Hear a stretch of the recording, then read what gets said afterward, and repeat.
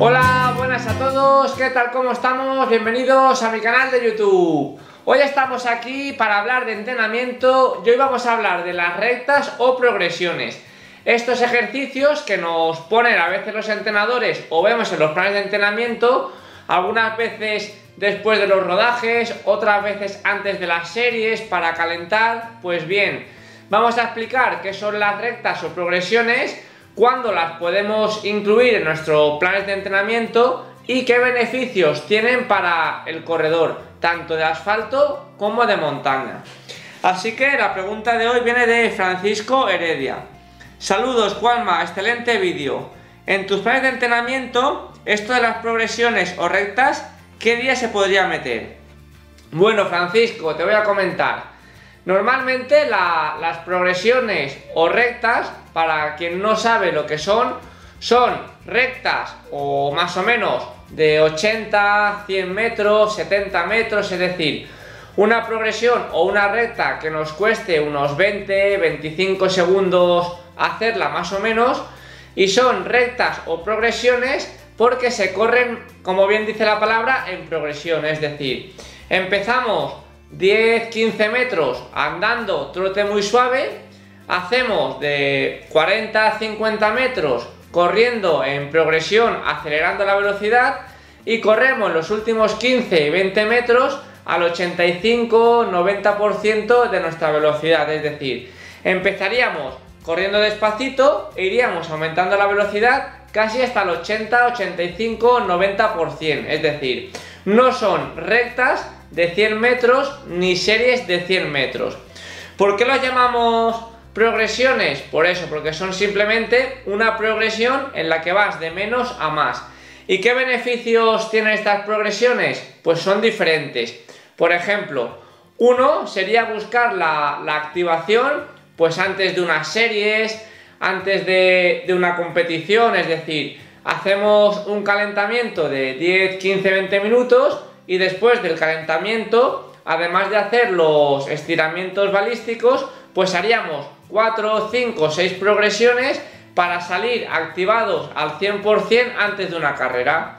Yo recomiendo pues hacer las progresiones unos 5 10 minutos antes de, de la carrera para tener así unos 4 o 5 minutos para llegar descansados y activados a la salida.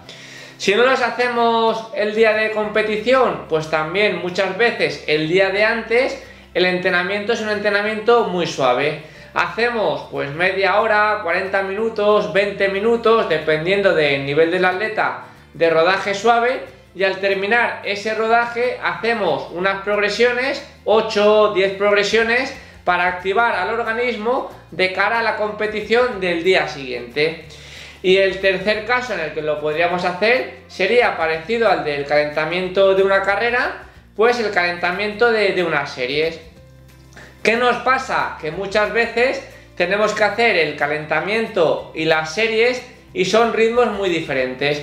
Un ejemplo, podemos hacer un calentamiento a 4.30, 5 minutos, 5.30, a 6 pero luego las series que nos tocan ese día, pues pueden ser series a, 4, a 3.30, a 4.10, cada una a su nivel. Si hay mucha diferencia entre el ritmo del calentamiento y la primera serie o el ritmo de las series, pues siempre se recomienda dos opciones.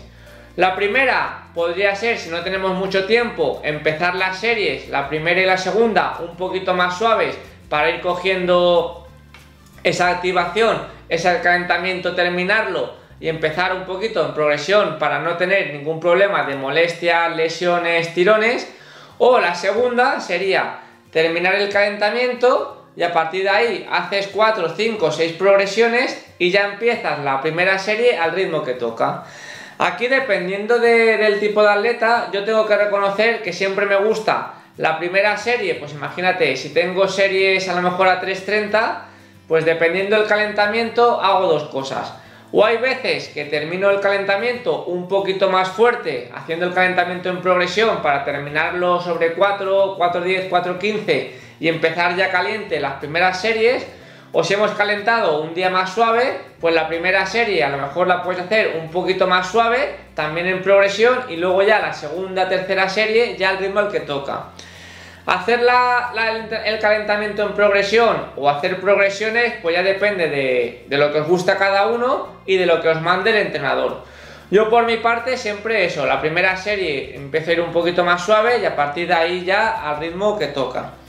Y el último caso, que sería ya el cuarto, recordad que hemos hablado de calentamiento de carrera, calentamiento de las series y el día antes de una competición suele ser en días de rodaje. ¿Por qué lo metemos en días de rodaje?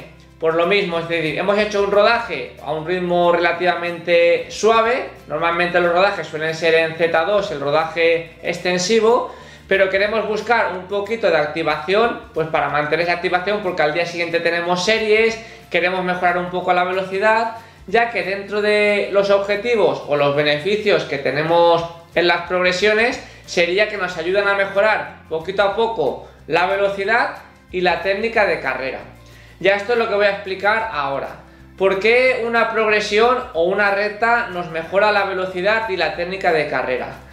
Lo primero sería porque estamos corriendo a ritmos más rápidos que el ritmo de rodaje, es decir, a lo mejor una progresión podemos empezar corriendo a 5, pero podemos terminar corriendo a 3.30, 3.20, a 3, es decir, dependiendo como siempre del nivel de cada uno.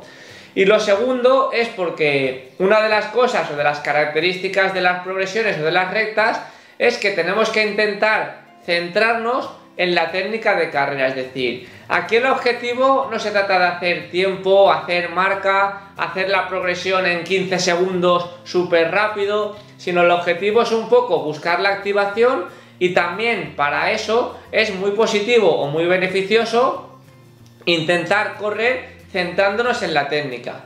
¿Cómo? Pues intentando levantar rodillas un poquito más que lo que levantaríamos de normal, intentando pisar con la parte delantera del pie de metatarso, es decir, intentando llevar el talón al glúteo para hacer el movimiento entero, es decir, intentar buscar esos gestos de técnica de carrera para que así luego poquito a poco, si vamos haciendo progresiones todas las semanas, dependiendo de los entrenamientos, pues dos o tres veces por semana, si al final de un mes, dos meses, tres meses, esos gestos los vas interiorizando y poquito a poco vas mejorando la técnica de carrera.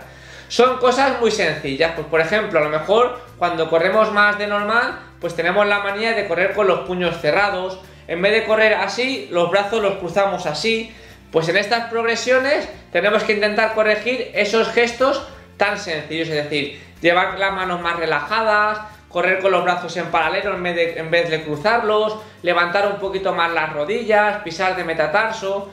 Al final el objetivo de la progresión sería ese, buscar la activación para entrenamientos posteriores, mejorar un poquito la velocidad y mejorar la técnica.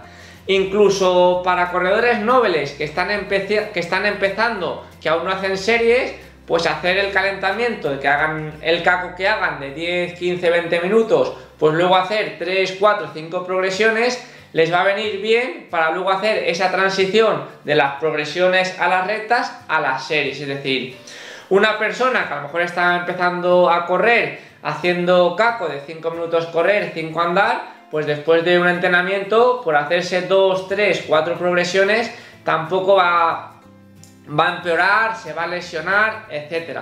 Siempre partiendo desde la base que las progresiones se corren de menos a más, empezando muy suave y terminando a un 80-85% de, de nuestra intensidad. Eso no quiere decir que si hacemos, por ejemplo, una serie a tope en 15 segundos tengamos que hacer las progresiones en 18, 19, 20 segundos. Yo mi consejo es que las progresiones no se cronometren porque siempre que metemos el tema cronómetro, tiempos parciales, involuntariamente pues siempre vas a querer ir un poquito más rápido, hacerlas todas al mismo ritmo y a lo mejor puede que, un día las progresiones te salgan en 20, 21, 22 segundos porque ese día estás fresco, estás descansado y tienes ganas y otro día simplemente porque estás un poquito más cansado, un poquito más fatigado, ha hecho más calor, pues te estén saliendo en 22, 23, 24. Pero el objetivo de las progresiones en ninguno de los dos casos es hacer tiempo, es decir, simplemente sería buscar esa activación, mejorar progresivamente la velocidad y mejorar sobre todo la técnica de carrera. Si todo esto lo vamos haciendo o nos acostumbramos a hacerlo, pues antes de las series, después de los rodajes, etcétera, yo estoy seguro que, que un corredor al cabo de 2, 3, 4 meses, su velocidad en las series, su técnica de carrera y poquito a poco va a ir mejorando. Hay que decir que no es una cosa de una semana para otra o de un mes para otro, es decir, estos cambios llevan mucho tiempo, pero si tenemos el hábito y la costumbre de ir haciéndolo, incluyéndolo en todos los entrenamientos, pues al final no hay ningún problema en hacerlo. Así que dejamos el vídeo de hoy con la pregunta de Francisco y como siempre tenéis abierto mi canal para dudas, consultas, sugerencias más o menos de, de, todos los niveles. Así que espero vuestras preguntas y como siempre un saludo y hasta el próximo vídeo.